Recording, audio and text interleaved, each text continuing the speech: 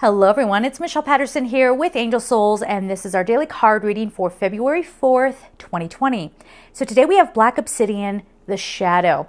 And this is what this, I started smiling as soon as this came out because someone had left a comment on one of my videos, um, kind of inexplicably saying that I needed to do more shadow work. And I thought that was interesting. I wish I could have engaged. I know people say don't engage in those kinds of comments, but sometimes, you know, we can't just shut out the people who are trying to spur us, okay? Now, hang with me as I say this because you're going to go, what, what, what? You know, that's not how you're supposed to handle things because we get trained to say, I'm not going to let that bother me. Let's move on. And in some cases, yes, that's appropriate. But we're all supposed to be working to come back together. So if a fellow human being is out there and they've picked up something that I've said, or maybe this pertains to you and you know like in a certain situation okay? Maybe a, a, situation popped up in your mind just now. And instead of seeing them as like okay you know what? You're just trouble and i'm just not going to engage you're shutting them out. Now if they're being abusive you got to do that okay? Or if you know they're just trying to drag your energy down you feel like they're an energy vampire then yes you got to shut them out but in this case, I felt a stirring of something else. And I want to I want to share this example with you here just for a moment. Um, this was somebody who I felt was very ungrounded, very disconnected, and very susceptible. What I mean by that is uh, when this person said that, I was like, what are you talking about? Like, I, I wanted to come back and be like, I need to do more shadow work. It was almost as if they were projecting Okay. And do I need to do shadow work? Yeah, everybody does. right? So it was such an obvious statement.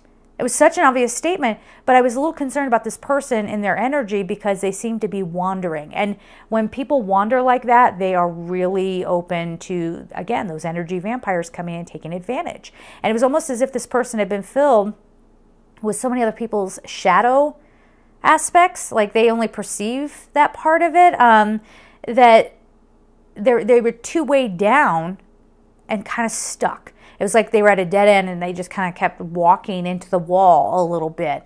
And so, you know, that was one of those where I was like, okay, I'm going to try to talk to this person, but it didn't work. so I was like, okay, you know what? We'll just, I'll let that person do, you know, who am I, right? So I'll just let them do whatever they're going to do.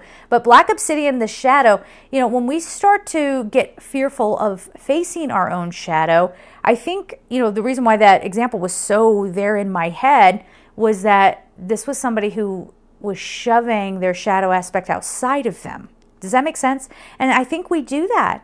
I think we do that. I do it all the time. And I'm realizing, I'm like, I do throw my shadow aspect out. If I'm aggravated and I just feel like, man, I cannot get anything done today, you know, I'm going to be less patient with the person who drives up to the ATM and decides to do all of their banking at the ATM instead of going inside, right?